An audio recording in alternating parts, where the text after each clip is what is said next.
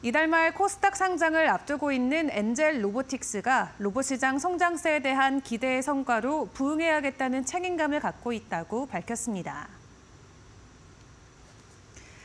웨어러블 로봇 전문 기업 엔젤 로보틱스는 오늘 서울 여의도에서 기업 공개 기자 간담회를 열고 성장 전략과 비전을 발표했습니다. 엔젤 로보틱스 측은 회사의 가장 큰 성장 동력은 일상생활 보조 로봇 시장, 보조 시장에서 나올 것으로 기대하고 있다며 의료 분야를 시작으로 산업, 국방, 일상 등 다양한 분야로 사업 영역을 확대해가고 있다고 강조했습니다. 회사는 주요 부품 내재화를 통한 원가 절감과 제품 포트폴리오 확대 등을 바탕으로 2025년 흑자 전환, 이후 2026년 영업이익률 29%를 달성하겠다는 목표를 세웠습니다.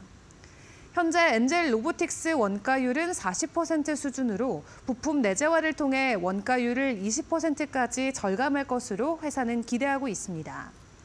엔젤 로보틱스는 이날까지 기관 수요 예측을 마친 뒤 오는 14일에서 15일 양일간 일반 청약을 진행합니다. 상장 주관사는 NH투자증권입니다.